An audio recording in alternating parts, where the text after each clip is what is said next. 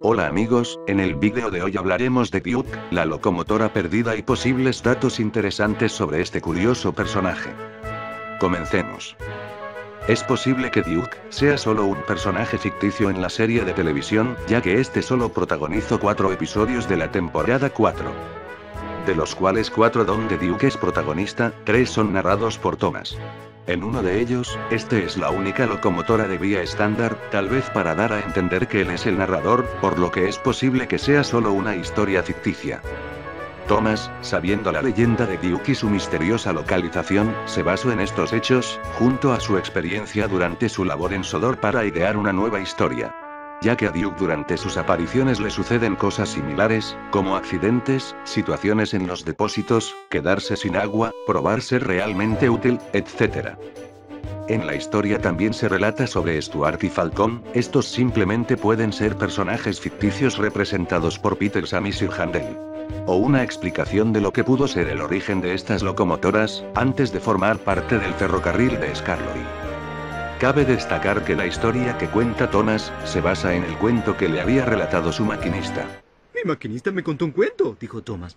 Si recordamos, en el episodio Los fantasmas de Percy, la leyenda de la locomotora fantasma fue una historia de su maquinista, y resultó ser ficticia.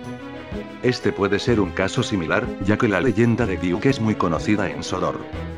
En mi opinión, Duke no es real ya que solo hizo aparición en historias ficticias, sin contar cameos, ya que estos solo sirven para llenar espacios vacíos y darle más vida a la escena. Lo más curioso es que Peter y Randall jamás mencionan a Duke, esto da posibilidad a que jamás lo hayan conocido, en la historia sí porque Thomas los personificó como Stuart y Falcon. Para mí, la respuesta a todo esto está en el episodio El descubrimiento de Toby. Este trata de cómo Toby, Sir Topan Hack y sus nietos van en busca de una aventura, siguiendo un mapa para encontrar un viejo castillo, donde también encuentran una mina abandonada de un ferrocarril cerrado y ahí el personaje clave Bertrand. Yo creo que Bertram en realidad es Duke por lo siguiente. Ambos comparten una misma base y color similar. Tienen apodos similares. Duke, fue apodado por el nombre del duque de Sodor y es ampliamente respetado y considerado como un héroe entre todas las locomotoras. Bertrand, fue apodado como el viejo guerrero por el personal del ferrocarril debido a su valentía.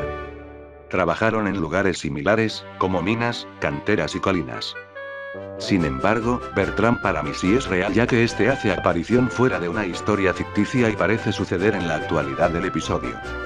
La mina donde encuentran a Bertrand pudo ser parte del ferrocarril donde trabajaba Duke, en el episodio dicen que ahí trabajaban pequeñas locomotoras y que cerró tal y como pasó en la historia de Thomas.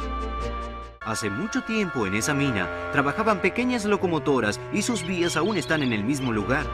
Tal vez lo que cuenta Thomas en Gran Puff y la Bella Durmiente es lo que le sucedió a Bertram en el ferrocarril antes de que éste cerrara. Por lo que puede ser que Duke nunca fuese encontrado, al menos, tal como lo muestran en La Bella Durmiente, ya que, a petición de las demás locomotoras, la historia debía tener un final feliz. Por lo tanto, este pudo haber sido descubierto muchos años después de lo sucedido en Gran Puz por gente de algún pueblo cercano y se lo mantuvo, pero no en condiciones de andar, sino más bien para mantenerlo cálido, limpio y dándole una nueva capa de pintura. Esto hace posible que la leyenda del viejo guerrero sea sobre Duke, convirtiendo a Bertram en una especie de alter ego. Bueno, eso ha sido todo, espero que les haya gustado. Quería agradecerles a todos por suscribirse y ayudarme con todo lo que ha pasado, espero que juntos podamos convertir este canal en lo que fue el canal original, un saludo y hasta la próxima.